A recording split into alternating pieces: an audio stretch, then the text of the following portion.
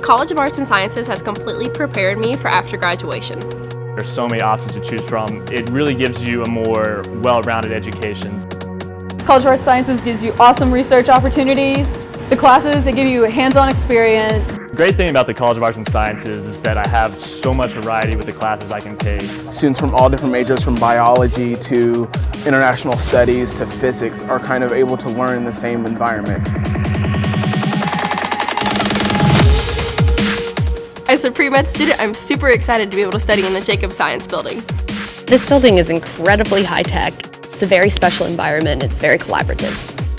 If you're interested in the College of Arts and Sciences, definitely get to know your professors. The professors in the arts and sciences are incredibly passionate and they inspire me to be the best I can be. Being able to connect with those professors on a one-on-one -on -one basis was really important to me. So there are a lot of different learning resources available on campus. You have the Writing Center, the MathSkeller, and you have a lot of different science learning centers as well.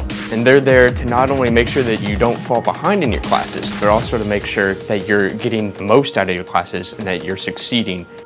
The College of Arts and Sciences offers a broad range of foreign language classes that you can take in order to help with study abroad or job opportunities in the future. Something that really interests me is the College of Arts and Sciences Passport to the World program. Each year, A&S highlights a different region of the world or current topic. Having a liberal arts education has really made me a well-rounded person. A&S offers a wide variety of living learning programs that appeal to your passions in life and what you're interested in. It's a great way to make new friends and make a large campus feel small. Being in arts and sciences is awesome.